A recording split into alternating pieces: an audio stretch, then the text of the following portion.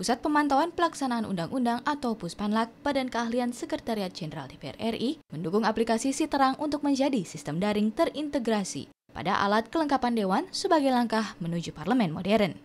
Ditemui setelah membuka acara Focus Group Discussion atau FGD, optimalisasi dukungan kepada DPR RI melalui Siterang di ruang Pansus B Gedung Nusantara 2 Senayan Sekretariat Jenderal DPR RI, Indra Iskandar mendukung proyek perubahan strategi Siterang oleh Pusat Pemantauan Pelaksanaan Undang-Undang atau Puspanlak Undang-Undang Badan Keahlian DPR RI. Uh, proyek perubahan dari uh, Kepala Puspanlak uh, di Badan Keahlian Ibu Tanti.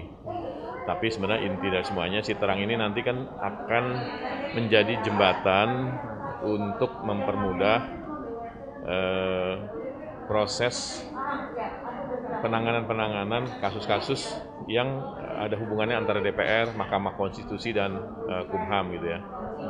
Kepala Pusat Pemantauan Pelaksanaan Undang-Undang Puspanlak Badan Keahlian Sekretariat Jenderal DPR RI, Tanti Sumartini mengatakan, aplikasi Siterang dibuat untuk melakukan terobosan dan peningkatan penggunaan sistem integritas data, sehingga pengumpulan data untuk pembuatan keterangan dalam pengujian undang-undang di Mahkamah Konstitusi dapat dilakukan dengan mudah ini tentunya kan akan mendukung apa ya mendukung penggunaan IT penggunaan IT merupakan syarat daripada terwujudnya parlemen modern. Parlemen bisa bekerja lebih mudah di, dengan dukungan yang berbasarkan IT Ferdian dan Bani TVR Parlemen melaporkan.